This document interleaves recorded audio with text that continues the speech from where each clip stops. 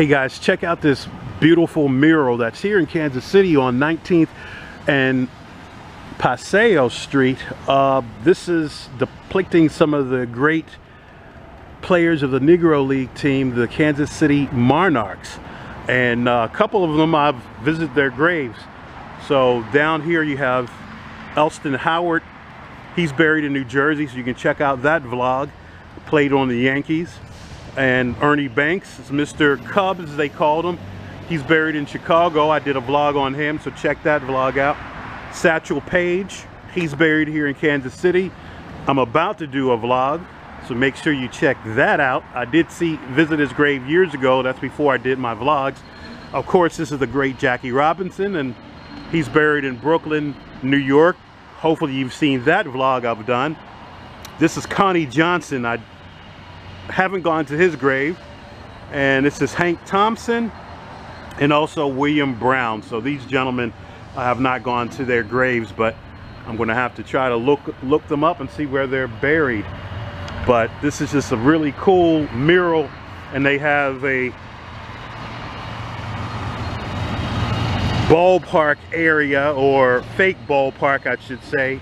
And this looks really cool. You have like the outfield and the type of signs that would be here at that time and even like the the bus that the players had to travel on so that's pretty cool.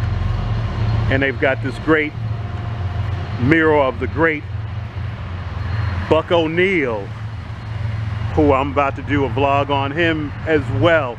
This building uh, this was the old YMCA and this is where in uh, well 1920 is where the concept of the Negro Leagues was put together in this building and now they're dedicating this building to uh, Buck O'Neil. So it'll be called the Buck O'Neil uh, Center. So uh, you can see right here at the bottom the this great painter that made this, Alexander Austin, put on there, thank you Buck O'Neil. Now I have been fortunate I met Buck O'Neil. Uh, matter of fact, it was at a Kansas City um, Royals baseball game, opening day. A friend of mine was playing for the for the Royals, and I happened to come out to see them play against the Mariners, and I saw him in the stands. So I got a picture of him in the stands, and after the game, I got him to sign a